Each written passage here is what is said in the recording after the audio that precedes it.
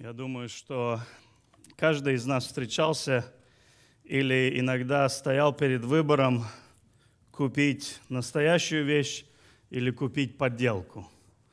Купить а, то, что сделано а, на 100% из кожи, или то, что сделано на 50% из кожи, 50% что-то другое, да? Или э, купить сок, который 100% сок, без всяких добавок, или купить какой-то сок, может быть, ну, там, где не 100% сока. Иногда даже этот выбор предстоит перед нами, и мы тогда уже начинаем считать деньги, а сколько это будет стоить. Что-то стоит дороже, что-то стоит дешевле, да? Что настоящее, то, что э, не подделка, оно, скорее всего, будет стоить дороже. Подделки, скорее всего, будут стоить дешевле. Да? Иногда мы идем покупать инструмент в Home Depot, а иногда идем покупать инструмент в Harbor Tools, да? потому что там дешевле, хотя инструмент может и быстрее использоваться, да? поломаться может быть даже. Иногда мы встречаемся с людьми, которые говорят, что они искренние христиане, а на самом деле мы узнаем, что они подделка. Да? Иногда мы встречаемся с людьми, которые говорят, что я христианин, но на самом деле, когда мы смотрим на их жизнь, мы говорим, подожди, неужели ты натуральный христианин на сто процентов? В нашем, э, в нашем изучении книги Якова мы подходим к такому месту, где Яков задает очень интересный вопрос в 14 стихе. Может ли эта вера спасти его? Да, это 14 стих 2 главы. Мы подошли к 2 главе э, Иакова, 14 стих. И в начале вот этого отрывка Иаков спрашивает, может ли эта вера спасти его? А разве мы не спасены верою? Спасены верою. Так почему же Иаков до этого говорит, что больше, что польза братьям, если кто говорит, что он имеет веру, а дел не имеет? Да? И некоторые даже проповедники, некоторые течения, некоторые религии даже используют вот это Писание для того, чтобы сказать, нужно побольше делать дел, потому что Яков говорит, что делами вы спасетесь. Но посмотрите, что нам говорит книга Ефесянам, э, послание к Ефесянам, 2 глава, 8 и 10 стих. Апостол Павел говорит, «Ибо благодатью вы спасены через веру, и сие не от вас, Божий дар, Ибо мы Его творение, 10 стих, созданы во Христе Иисусе на добрые дела, которые Бог предназначил нам исполнять. То есть, если мы возьмем это, эти два стиха и соединим вместе с тем отрывком, который был только что прочитан из второй главы Иакова, то можно увидеть какую-то последовательность. А последовательность такая. «Ибо благодатью вы спасены». Во-первых, благодать Божья, да? Благодать Божия, которая проявилась в Иисусе Христе, который умер за нас. Потом через вашу веру вы были спасены. Но и в конце этого отрывка мы читаем, что были спасены для чего? На добрые дела. Его творения созданы во Христе Иисусе, то есть люди, которые уже спасены, созданы на добрые дела, которые Бог предназначил нам исполнять. То есть благодать, вера, добрые дела. И это есть вот эта последовательность. Добрые дела, то есть измененные э, привычки, измененные поступки, измененная attitude, да, настроение другое. И настоящая вот тема вот этого отрывка, здесь Иаков призывает нас, чтобы мы посмотрели на свою жизнь, чтобы мы не посмотрели на жизнь другого, Okay? Сегодня, когда мы будем разбирать этот отрывок Писания, я хочу, чтобы каждый из нас посмотрел на себя.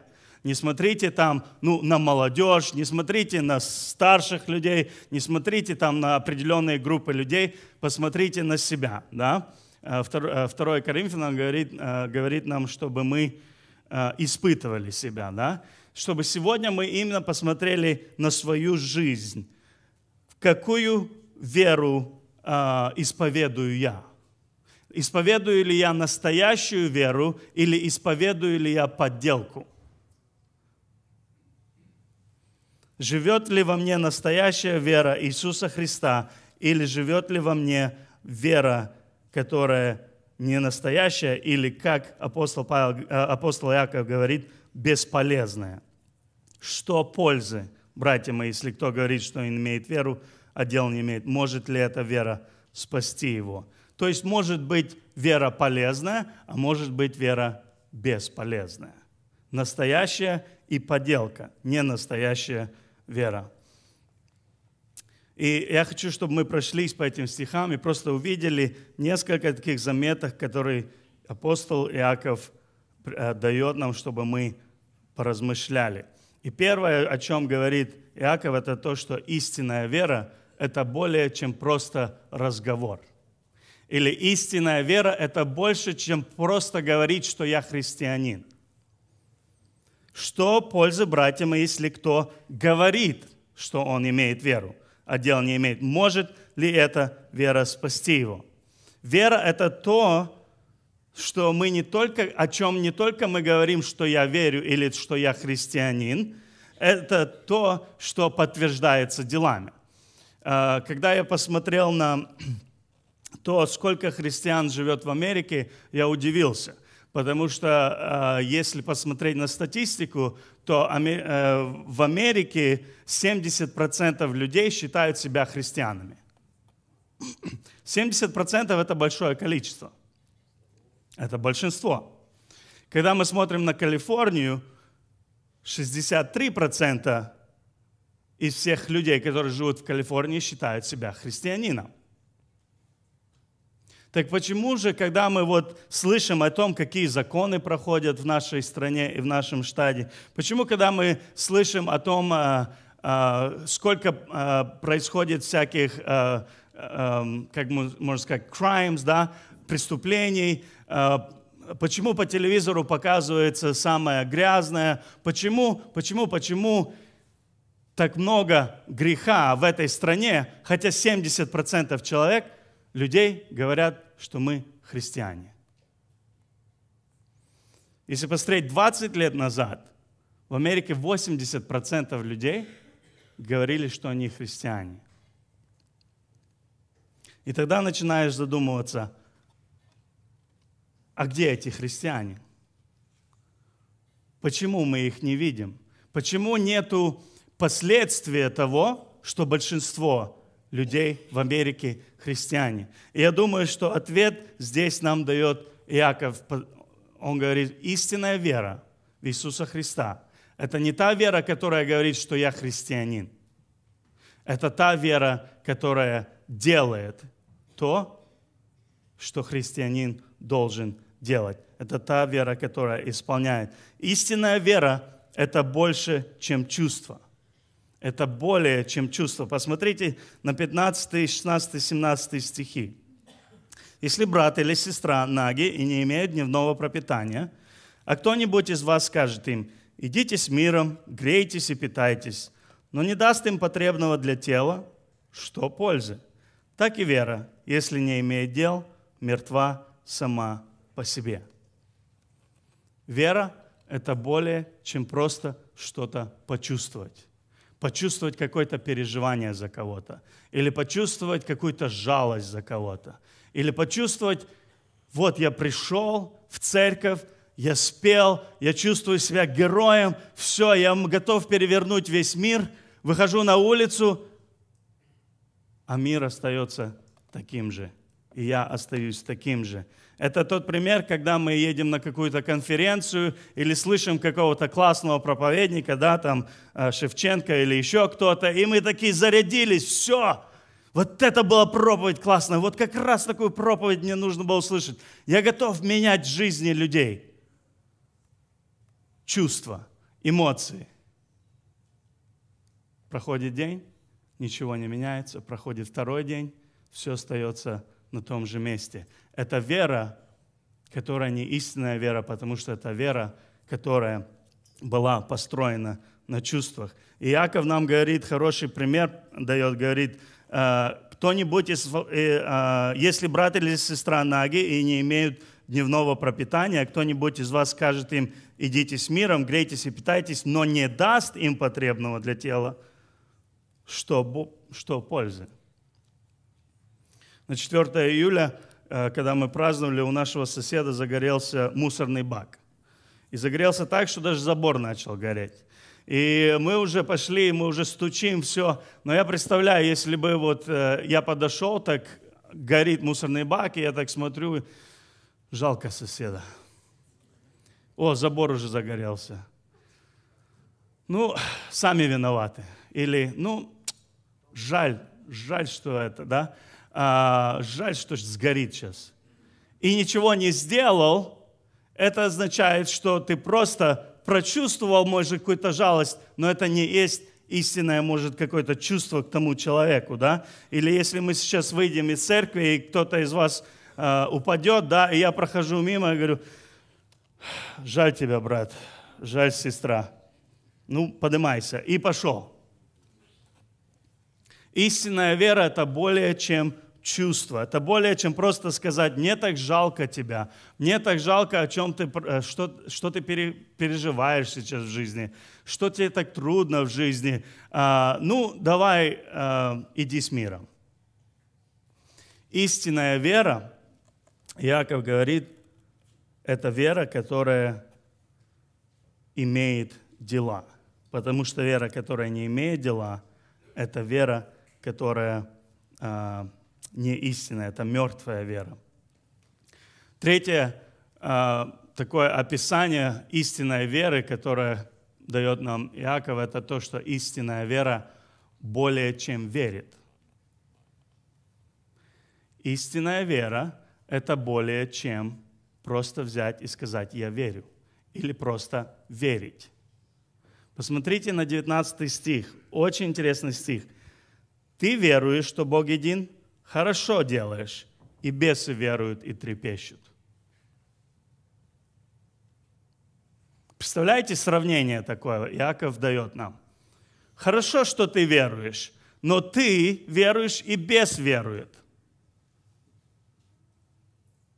Ты веруешь и бес верует. И ставит Иаков христианина почти на одну и на том же уровне с бесами – Бесы и сатана знают даже больше о Иисусе Христе, чем мы. Они знают больше о Библии, чем мы. Они были с Иисусом Христом.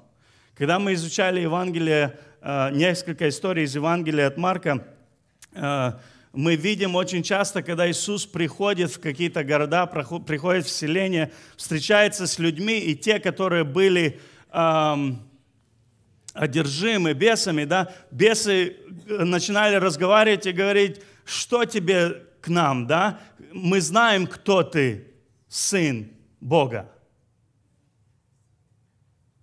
Они знают, кто Иисус Христос. Они знают о Нем, и они верят, что Бог един. Но и мы верим, что Бог един. Но бесы не делают чего? Они не делают того, что Бог бы хотел, чтобы они делали. Они не исполняют то, чему, что они, в что они веруют. Истинная вера – это больше, чем просто сказать «я верю в Бога». Я верю, что Библия – настоящая книга, uh, inspired by God, да, вдохновенная Богом. Я верю, что Иисус Христос – Сын Бога. Сколько людей вы встречали в своей жизни, которые говорили, я верю в Бога, я верю в Иисуса Христа. Но на самом деле жизнь их это не показывала. Многие люди сегодня, как я уже говорил, вот эта статистика, да, говорят, что я верю в Бога. А, атеистов очень мало в нашей стране. Атеистов очень мало. Но почему-то вот эта вера, она не видна в жизни людей. Истинная вера – это не просто говорить, что я христианин. Истинная вера – это не просто прочувствовать что-то. Истинная вера – это не просто сказать «я верующий человек, я верю в Бога, я верю в Иисуса Христа». Истинная вера действует. Истинная вера действует. С 20 по 26 стих мы видим, как э, апостол Иаков очень хорошо так э, раскрывает нам два примера о том, как истинная вера выглядит. С 20 стиха. «Но хочешь ли знать, неосновательный человек, что вера без дел мертва? Не делами ли оправдался Авраам, отец наш, возложив на жертвенник Исаака, сына своего? Видишь ли, что вера содействовала делам его, и делами вера достигла совершенства? И исполнилось слово Писания, веровал Авраам Богу, и это вменилось ему в праведность. И он наречен другом Божьим. Видите ли, что человек оправдывается делами, а не верою только. Иаков дает нам два примера. Один из этих примеров – это Авраам. Если вы помните э, историю Авраама, когда Бог его призвал. Бог призывает Авраама и говорит, Авраам, иди в ту землю, которую я покажу. Я тебе сейчас не говорю, куда идти, но иди туда, куда я тебе скажу, оставь все здесь, всю семью и все свое родство, и иди, куда я тебе скажу пойти. И что Авраам делает? Идет. Первый шаг веры Авраам сделал, он пошел, когда Бог его призвал. И потом Бог ему обещает, я тебе дам э, потомство, очень большое потомство, да. И потом, когда Исаак уже народился, Господь говорит ему, Авраам, я хочу, чтобы ты принес в жертву твоего единого сына.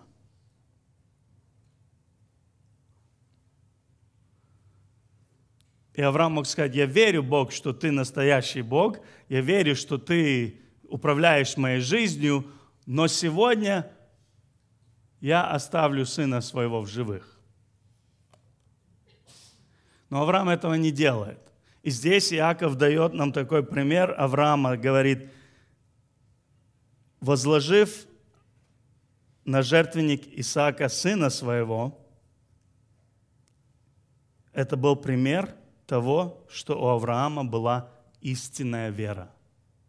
Вера, которая подтвердилась его делами, его действиями. Посмотрите, как он называет Авраама здесь. Не делами ли оправдался Авраам, отец наш, да? человек, уважаемый читателями того времени. Надеюсь, что и уважаемый нами тоже. Человек с большим именем – Авраам. Но посмотрите еще один пример, который дает Иаков. Человека, о котором мы не часто вспоминаем. Человека, который не называется отцом народа, да? Человек, который был очень грязным человеком, можно так сказать. В 25 стихе Иаков дает нам другой пример. «Подобно Ираав, блудница, не делами ли оправдалась, приняв соглядатаев и отпустив их другим путем. В чем проявилась вера Раави?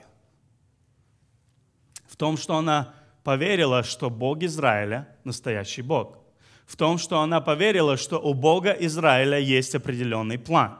И эта вера проявилась в том, что она приняла соглядатаев, да? она приняла тех, кто пришли э, узнать э, систему города, да, она спрятала их, и она отпустила их путем, который бы не нашли их. Опять же, мы, верим, мы видим, не зависит от, э, жизнь наша или наше христианство не зависит от того, как, насколько мы чистые, насколько мы, э, как правильно сказать, насколько мы безгрешны. Наша истинная вера зависит от того, насколько мы действуем впоследствии того, что мы верим. Уже в этом э, письме, мы, э, в этом письме, которое пишет Иаков, мы уже видели несколько примеров. Иаков нам напоминает о, о, о вдовах, Иаков напоминает нам о сиротах, Иаков напоминает нам о важности преодолевать испытания и искушения. Иаков напоминал нам в первой части этой главы о том, как относиться к людям без лицеприятия. И это все он подводит к этому стиху, и потом он дальше будет продолжать эти темы. Но он говорит, что наша вера, твоя вера не определяется твоими делами, она выявляется твоими делами. Твоя вера не определяется твоими делами, она выявляется твоими делами, то есть показывается твоими делами. И если твои дела не показывают того, во что ты веришь, тогда Яков говорит, что эта вера, она мертва. Мы используем в русском лексиконе фразу «отвечай за свои слова». В английском есть такая фраза «put your money where your mouth is». Вложи деньги там, где твои уста. Да? То есть за что ты говоришь, ты должен отвечать. Если ты говоришь, что ты христианин, ты должен это показывать. И если ты говоришь, что ты верующий в Бога, ты должен жить. Это должно быть проявлено в твоей жизни. Испытывайте самих себя, верили вы. Самих себя исследуйте. По-настоящему ли я христианин? Какие изменения произошли в моей жизни с тех пор, как я поверил, что Бог, Иисус Христос, есть Бог, умерший за меня? Какие, замечаю ли я изменения в своей жизни? Если я не, изме, не замечаю эти изменения в своей жизни, может быть, мне нужно что-то изменить в том, как я верю и во что я верю. Многие люди говорят, не имеет значения, во, э, что я делаю, а главное, что я верю. И это большая ошибка многих тех, которые называют себя христиан, христианами. Иаков нам говорит, что очень важно, чтобы твоя вера подтверждалась твоими делами. Очень важно, чтобы твоя вера подтверждалась твоими делами. Еще раз хочу напомнить вот эти стихи. «Ибо благодатью вы спасены через веру, и сие от вас Божий дар. Ибо мы, Его творение, созданы во Христе Иисусе на добрые дела, которые Бог предназначил нам исполнять. Божья благодать может изменить твое сердце, если ты уверуешь. Божья благодать может изменить то, кто ты есть может изменить твои поступки, твои привычки, твои, твою трудную ситуацию в семье. Божья благодать может изменить характер твой и то, как ты живешь. Божья благодать может это сделать, но если ты уверуешь и будешь поступать по Слову Божьему. И Господь говорит нам, я хочу, чтобы ты познал меня – и когда ты познаешь меня, познаешь эту благодать мою, тогда ты будешь новое творение на добрые дела. Я хочу заметить, что сегодня мы вспоминаем распятие Иисуса Христа на кресте. И мне кажется, очень подходит вот эта тема того, что наша вера должна проявляться на наших делах потому что Божья любовь проявилась на деле. Потому что Господь проявил свою любовь к нам на том, что не просто Он сказал, как мне жалко вас, дорогие люди, как мне жалко вас, творение мое. Вот если бы вы только вот изменили свою жизнь, вот если бы вы только обратили свой взор на меня, как было бы классно – потому что я люблю вас. Но Бог не просто почувствовал что-то, Он не просто знал, что это нужно. Он пришел на землю. И Он показал это на деле, на самом деле, и сказал, я люблю тебя. Поэтому я умер на кресте за тебя. И я хочу, чтобы ты познал меня, я хочу, чтобы ты познала меня. И тогда твоя жизнь изменится, и тогда твои отношения в семье изменятся, и тогда твои отношения с твоими детьми, с твоими родителями, тогда твои отношения с твоими друзьями изменятся, потому что Божья благодать изменит твою жизнь. И Бог нам показал, проявил свою любовь тем, что Он умер на кресте за нас, пожертвовав собой. Я хочу, чтобы мы сейчас помолились, и в этой молитве, может быть, а, может быть, вы уже давно христианин, может быть, ты уже давно веруешь, но в твоей жизни ничего не меняется, и в твоей жизни эта вера не проявляется. У тебя есть эта возможность сегодня сказать Господу Богу, сказать, Господь, я, я знаю, что Ты живой Бог, я знаю, что Ты Спаситель мира, но что-то в моей жизни не так, пожалуйста, войди в меня, измени меня, подари мне новую жизнь, подари мне вот это Э, из, э, изменения в жизни моей. Давайте мы встанем на колени, на ноги, как кому удобно, и мы будем молиться. Я хочу просто дать возможность любому, кто хочет молиться, молитесь, братья и сестры, и мы приступим к причастию потом.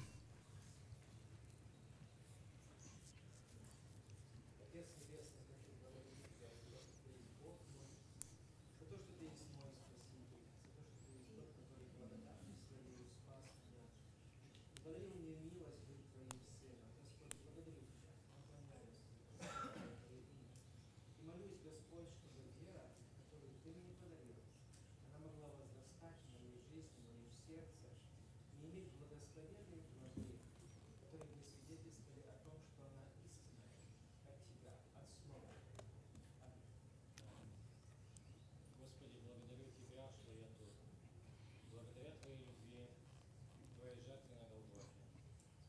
Благодарен Тебе, Господи, что Ты прощаешь, очищаешь, освящаешь. Господи, и Ты благословляешь меня, Господи, даже тогда, когда я падаю. Господи, Ты даешь мне силы подниматься. И я благодарю Тебя, что Ты очистил свое тело. Послал мне это желание и возможность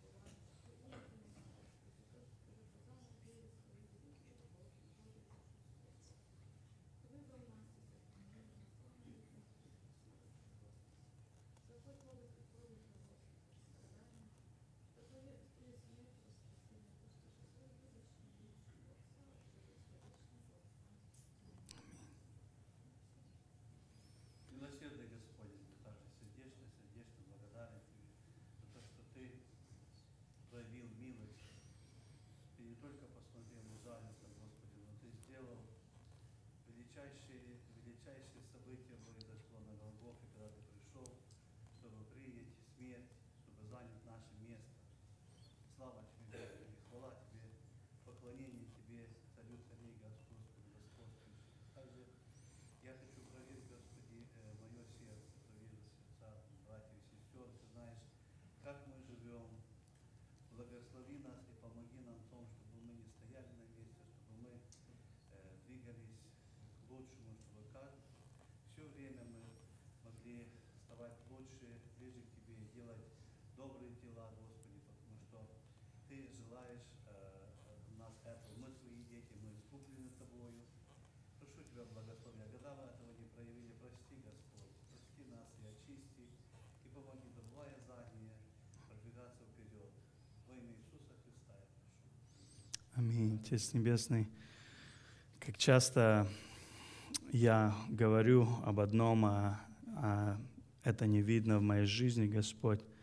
Прошу Тебя, прости, очисти. Господь, я хочу, чтобы Ты жил а, в сердце каждого человека, который присутствует здесь, чтобы вера, которую мы исповедуем, была истинной верой, Господь, живой верой, которая действует, Господь. Я прошу, чтобы Ты э, научил нас, Господи, научи нас э, приближаться к Тебе, Господь. Я молюсь, чтобы Ты вошел в сердца тех, кто просит, чтобы Ты был э, в их сердцах и жил в сердцах их, Господи.